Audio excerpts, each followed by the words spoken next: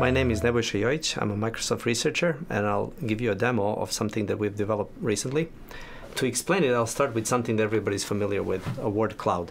Uh, here's a bunch of words found uh, in, a, in the set of news from one day from CNN. And these words are arranged alphabetically. The weights depend on how often they were used that day. But the eye really tries to find correlations in things that are shown nearby, for example, missing money news. But actually there was, there was no news about missing money. It's just our imagination creating creating meaning out of these.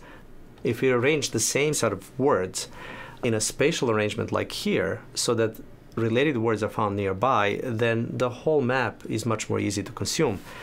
You can find, for example, words like cliff and fiscal next to each other. The way this is arranged is so that in any local neighborhood you look at, the words that you find there tend to correspond to the set of words you would find in a single news story. Now, how do we do that?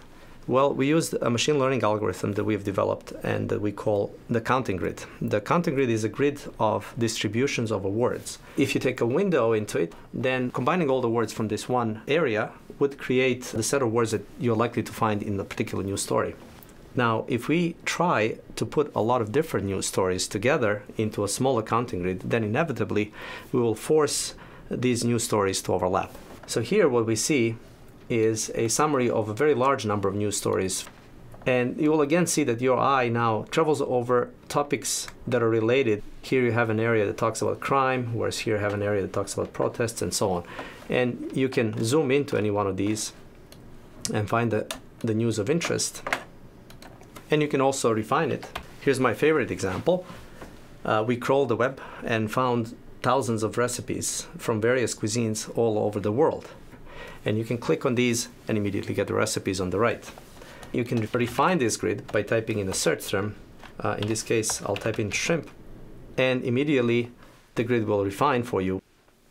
Now, this is an extremely useful interface for touch devices because you don't type a lot, you click and touch and zoom a lot. So this particular demo would be extremely useful when you're shopping. If I found that uh, my local store has some fresh shrimp, I then might browse through this grid and find the recipe of interest. For example, maybe I'll go for the coconut shrimp recipe.